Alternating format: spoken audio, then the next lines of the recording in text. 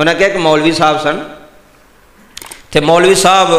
وہ تبلیغ کا انہوں نے بڑا شوق سی وہ کسی دور دراز چلے گئے تبلیغ کرنے واسطے انہوں نے کہا بھی یہ مسجد ہے تو چلو اتنے جُمہ پڑھاواں گے انہیں پورا ہفتہ لا کے نہ تقریر یاد کی محنت کی نقطے بیان وہ سارے لکھ لے بھی اے میں تقریر کرنی ہے جمے والے دن لوگوں لوگوں کے سامنے دی کرنی ہوئی جی جمعہ ہوا نا تو جمعے کی اذان ہوئی تو جمعہ شروع ہوا تو ایک ہی بندہ مسیح آیا کنے بندے ایک ہی بندہ مسجد آیا مولوی صاحب پریشان ہو گئے انہیں کہا بھی میں تقریر یاد کی پورا ہفتہ لا کے تو بندہ ہی کوئی نہیں سنن آیا ایک ہی بندہ آیا اچھا ہوں وہ جڑا بندہ سامنے بیٹھا نا ادھر توجہ کرو مولوی صاحب انہوں کہیں لگا بھی پورا محلہ نہیں آیا تو تے آ گیا ادا توجہ فرمایا تو ہوں کی کرنا جمعے دار توں تو میں ہاں، دو ہی بندے ہیں تو میں تقریر سنا آن لا ہوں کی کریے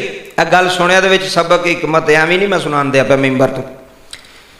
وہ سی مجھا چارن والا نا سیدھا سادہ کوئی دیہاتی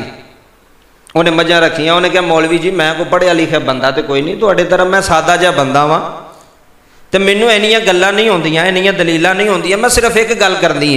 انہیں کیا کرو وہ سیدھا سادہ بندہ نا مجھا چار والا بچارا وہ کہیں لگا مولوی جی میں رکھیں نا مجھا ایوجہ کرو تو مجھ پہ ایک بھی ہو تو پٹھے بنا پہ گل نہیں سمجھے تو یار چار پانچ مجھا ہونا جی ایک بھی ہو پٹھے تو پا ج نہیں پانے پانی تو انہیں کیا بھی میرے کو ایک بھی مجھ ہو تو میں وہ انتظام کرنا ہوں وہ پٹھیا کا بندوبست کرنا ہوں ٹھیک ہے مولوی صاحب گل سمجھ آ گئی بھی ایڈا سیا ای مجاں چارنا کئی بار گل لب جاندی ہے نا بڑے بڑی ایو جہاں بندے کو گل لب جاندی انہیں کہا ٹھیک ہے جی میں ایک مجھ واسطے پٹھے بنا سکنا تو ایک بندے نے تقریر نہیں سنا سکتا ای اتوجہ صاحب تقریر شروع کی تھی جنی تقریر وہ یاد کی تھی سی نا اتوجہ کرو وہ ساری انہوں سنا چڑی ایک نہیں وہ جدو تقریر مکی تو بے چارہ واسیا پہ لوگ وہ بھی اور پہلی بار آیا سی وہ واسیاں پہ لے مولوی صاحب نے آخیا بھی کیا کوئی چس چس آئی یا کوئی مزہ آیا ہی جی؟ انہیں کیا بھی مزے کا تو مجھے پتا کوئی نہیں میری نیندر بڑی ہوں بھی انہیں نے کہا وجہ کی ہے انہیں کہا میں سیدھا سادہ بندہ انہیں تینوں اینی تقریر سنائی ہے تو تینوں پھر بھی سمجھ نہیں آئی انہیں کہا بھی بھا جی مولی صاحب میں سیدھا سادہ ڈنگر چارن والا بندہ میم ایک گل کا پتا ہے